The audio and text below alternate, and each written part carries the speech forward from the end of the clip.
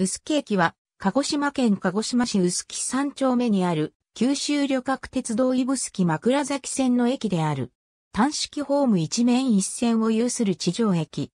JR 九州サービスサポートが駅業務を行う業務委託駅であったが、2020年5月30日より駅遠隔案内システムアンサーの導入に伴い再度無人化された。IC 乗車カード、守護化の利用が可能で、簡易守護化改札機が設置されている。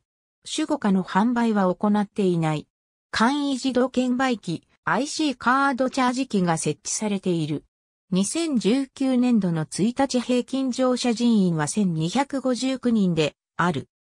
鹿児島市電、谷山線の脇田電停が踏切を挟んで並行して立地している。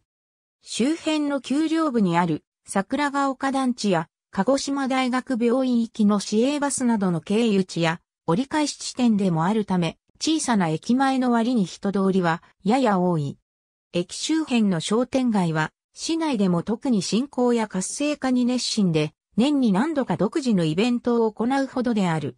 街の景色は都市近郊の私鉄沿線に似つかわしい雰囲気が漂う。徒歩5分圏の国道225号と産業道路に挟まれた地区は各種大型ロードサイド店の集積が進みつつあり、鹿児島市南部の一大商業中心になりつつある。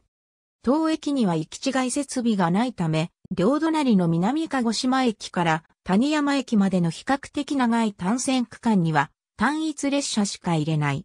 そのため両駅では最大10分近い行き違い待ちが発生することもあり、速達化や列車増発のネックとなっている。このため当たり駅の二線化や同区間の複線化または信号所新設が相当である。